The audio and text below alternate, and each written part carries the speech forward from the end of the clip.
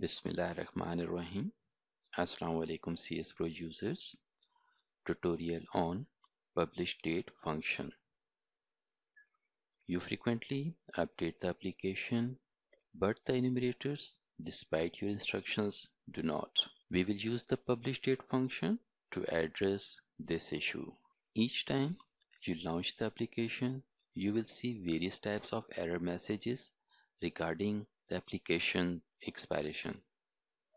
If the application is about to expire, you will see this message on your screen. And based on the days specified in the message, you will be able to work more days. If the application days are up, you will see this message on your screen. You will also be unable to work in this application after 12 p.m. midnight. If the application has expired, you will see this message on your screen. You will be unable to work until you update the application. It is time to look at the logic in the CSPro. In the declaration section, we have three dummy variables with numerical and string statements. In the declaration section, I also have one string array statement. The array's name is app months and it has a size of 12. We have the names of months in the array statement. The month of January is stored first, followed by February, and the remaining months are stored in that order.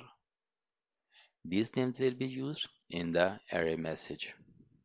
Using the preprog statement, the logic was written in the second tier 3 node. We will use two different ways to save the publish date. First, we will type the publish date manually and then save it in the dummy variable publish day. This logic is written with 5 days in mind in order to update the application every 5 days. You can add more or fewer days based on your needs. If the time difference between the published date and the current date is greater than 5 days, these error messages will appear and the application will be terminated. We are using dateDiff function to return the difference between two dates as a number. If the condition is false, execution moves to the first else keyword. Again, we will get the difference between two dates as numbers by using the dateDiff function. And after that, minus the difference from the number of 5 days. Get the difference in the dummy variable days left. In the else keyword, I am using another if-else statement. Your application will not function after 12 pm midnight if the stored value in the days left field is equal to 0. This error message will appear on your screen and you can continue working after pressing OK. We get the expiration date based on the number of days left over here. As we have seen earlier during the application testing that the message was after two days you will be unable to access the application.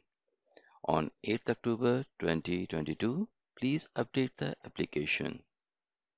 We will use the make text function and an array to get the month name instead of the month number to display a date in this format. If the expression is false, the block of code inside the else statement will be executed. We will first use the makeText function outside the brackets, followed by the string expression. Percentage %d returns it as an integer, which we will use to display the day. Percentage %s will display it as a string, and we will use this expression to display the month name. While the third expression, percentage %d will display the year. These three expressions will be enclosed in the double quotation mark. Put a comma after the quotation marks and then pass three arguments. Add the number of days left in the first argument, which is saved in the dummy variable days left in the current day. Using system date, get the current month number and then get the month name from the array app months in the second argument. Because the month number is now 10, the 10th name will be October. Finally, in the third argument, use the current year. I am using two string expressions in the error message and passing two arguments to get the information for these string expressions. The first argument returns the total number of days left, while the second returns the date the application will expire. Instead of entering the publish date manually, you can use the publish date function. Whenever you create the pen file, the value returned by the function will be the date and time that the dot .pen file was created. Simply divide the publish date by 1000 1000 to obtain the date only. The end result will be the same in either case. I hope this tutorial helps you develop better CSPro application. Please see the CSPro help on the publish date, array, make text, system date, and date diff functions for more information. Keep on learning and goodbye.